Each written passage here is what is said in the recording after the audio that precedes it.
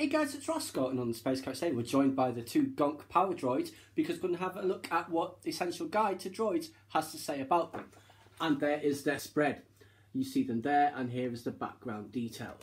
So let's just see. It says the EG6 Power Droid. If ever there was a sillier looking automaton than the EG6 Power Droid, it has yet to show its face. Featureless dark boxes shuffling around on stumpy legs, devoid of external manipulators of any kind, the droids battle those who aren't familiar with their function. But without them, starships would sputter, instruments would falter, and modern society would generally grind to a halt. Power droids are ambulatory fusion generators, walking batteries, some say. Their job is to provide systems energy to mechanical devices in situations where a permanent power grid is unavailable or inconvenient.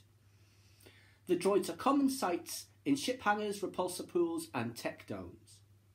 Their single function purpose accounts for their rather bland appearance. A large part of the EG6's innards consists of its fusion generator, which is protected from shocks by a heavily armoured exterior. The droid is built to survive a variety of disasters, up to and including a radiation conduit breach. In emergencies involving extreme temperatures, small relief valves on the outer casing and the bases of both feet bleed off vaporizing coolant fluid as steam. The few adornments on the EG6's unremarkable face consist of a plug-in port, a visual sensor, an acoustic signaler capable of droid and computer languages only, and a sophisticated systems diagnostic package incorporating a spectrometer and three scanners infrared, sonar, and X ray. The droid uses these sensors to run detailed safety checks on the equipment it is servicing. If the number and severity of flaws fall outside the droid's pre programmed tolerance ranges, it refuses to fuel the item. This dramatically decreases the number of accidental explosions, but gives the EG6 a justified reputation for stubbornness. Even people who work around power droids every day rarely see one use its manipulator arm. This delicate appendage is normally stored behind a tiny portal and is built for ultra-fine electronics work. Since important repairs are best entrusted to an LE unit or a treadwell, the arm usually remains hidden. Apart from their highly advanced diagnostic programming, power droids are notoriously stupid. If ordered to walk a straight line, the automaton will ter- determinedly keep its feet pumping even after it has marched straight off the edge of a cliff. Fortunately, its durability often allows it to survive such witless mishaps.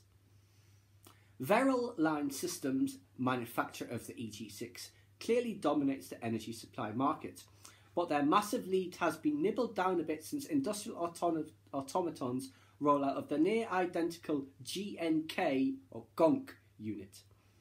In response, Veril has introduced the S9 heavy power droid, a larger and more expensive variation on the EG6.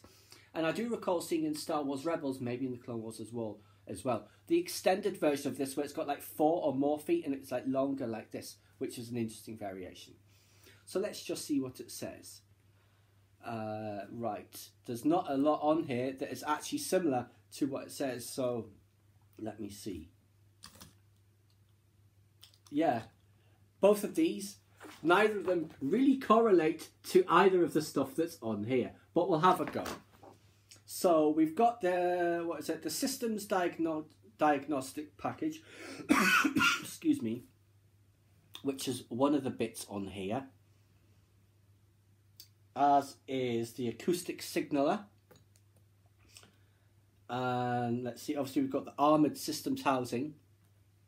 There is a light power plug-in socket, which I think might be the green one there, I'm not sure. The manipulator arm behind the panel, let me see. Is there a panel? Very difficult to tell where it is. On here, perhaps?